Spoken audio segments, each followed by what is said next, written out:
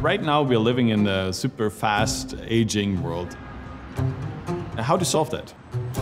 With smart, intelligent robots or a brain which can actually think like humans and react like humans. To enable that, yes, we are missing the data.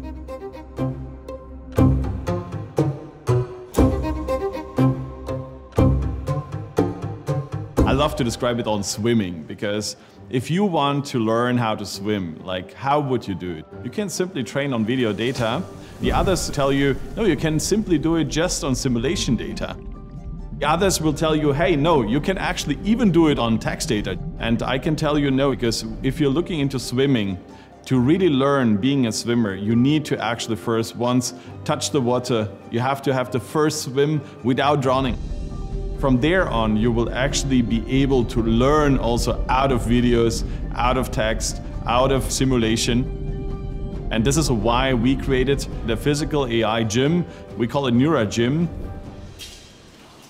How does a Neura Gym look like? There is a large space. We place a lot of robots, like hundreds of humanoid robots, but also other form factors of robots. And they're all connected to one platform, which is a virtual world. You can actually go inside, like in a gym, and then bring things, components, and try it out to solve it with the robot.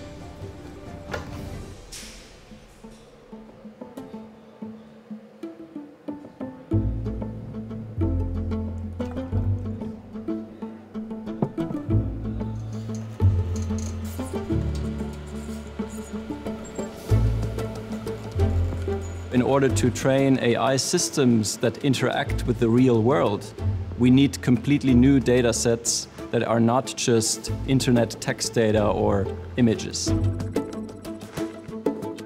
We're collecting data with hundreds of robots in the physical world, but also in the simulation world of NeuraGym.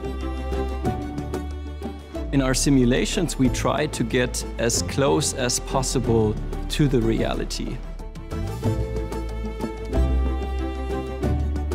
Then we go to the physical world and collect a couple of trajectories. We do teleoperation to really get the exact robot data to train our AI models.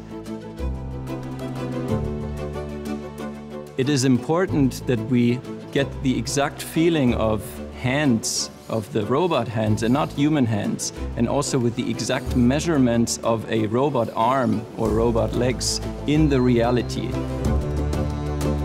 Then we train the AI model and test it how well it works. It will still perform poorly in certain areas, and that's where we collect more data to train the models to become even better. NeuraGym is one of the most exciting physical AI projects right now. We started as a single project and now it's scaling into something way bigger. The challenge is no longer to build one NeuraGym, but to bring this concept to many locations all over the globe. All of this data flows into our Neuraverse platform, which will become the central infrastructure for physical AI. Neura Gym is basically filling the gap of the future and today, like what's possible, because you can simply train the robot and make it possible yourself.